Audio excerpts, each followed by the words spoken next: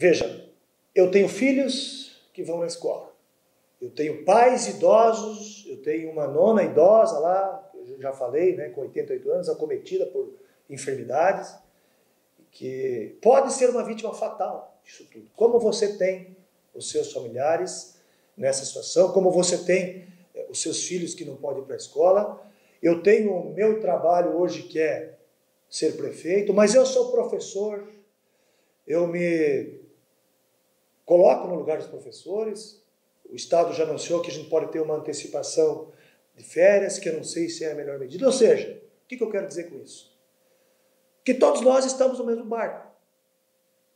Uh, o coronavírus ele vai acometer profissionais liberais, empresários, professores, crianças, aposentados, vai acometer todos. As empresas de Marechal não vão sofrer. O prefeito tem consciência disso. E daqui a pouco nós temos que abrir para que as empresas voltem a trabalhar. Quando? Não tem fórmula. Se tivesse fórmula matemática, né? eu convivi durante 23 anos trabalhando com fórmulas matemáticas, se tivesse seria fácil. Não é? Então nós estamos preocupados com todos. Com todos.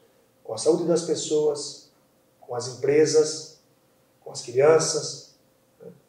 Com os servidores públicos, com os profissionais da saúde de Marechal Rondon, a quem eu quero aqui agradecer, porque daqui a pouco eles terão que combater o coronavírus atendendo alguém que está infectado.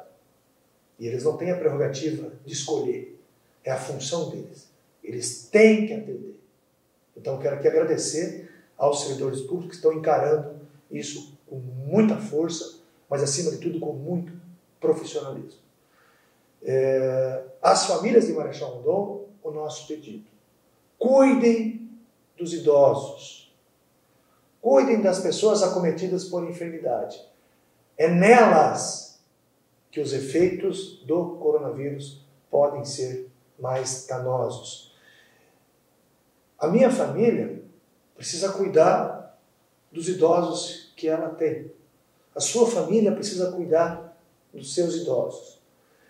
E eu sei que idoso é difícil de lidar. Idoso é teimoso. Idoso, hoje cedo eu vi pessoas andando na rua, idosas andando na rua, é difícil lidar. Mas nós temos que convencê-los, de uma ou de outra maneira, que eles precisam tomar todo o cuidado, porque eles estão dentro da maior faixa de risco. Esse é o meu pedido. Eu tenho certeza que se todos nós colaborarmos, se todos nós trabalharmos juntos, nós vamos conseguir minimizar os efeitos do coronavírus em Marechal Cândido